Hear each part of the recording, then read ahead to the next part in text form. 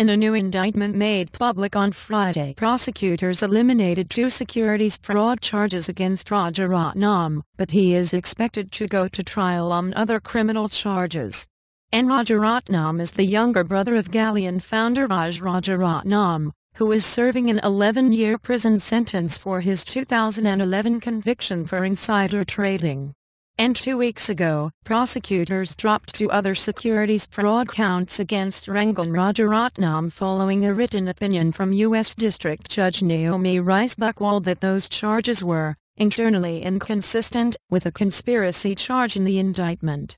And it was not immediately clear why prosecutors decided to abandon the additional counts. A spokesman for the Office of Manhattan U.S. Attorney Preet Bharara declined to comment.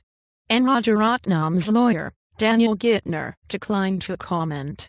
N. Rajaratnam is scheduled to face trial on June 17, the latest case in a broad insider trading investigation that has resulted in 80 convictions since October 2009 and the government has accused the 43-year-old of conspiring with his brother to trade on non-public information related to Clearwire Corporation and Advanced Micro Devices Inc. and Rengan Rajaratnam had initially been charged with securities fraud with respect to trades executed in various Galleon funds that prosecutors said netted more than 1 million in illegal profits. And all four of those counts have been dropped. Rajaratnam now faces two fraud counts over trades in his own brokerage account, which prosecutors say earned him about $100,000 in illicit gains, and a conspiracy count related to the broader scheme. And the case is U.S. v. Rajaratnam, U.S. District Court, Southern District of New York, No.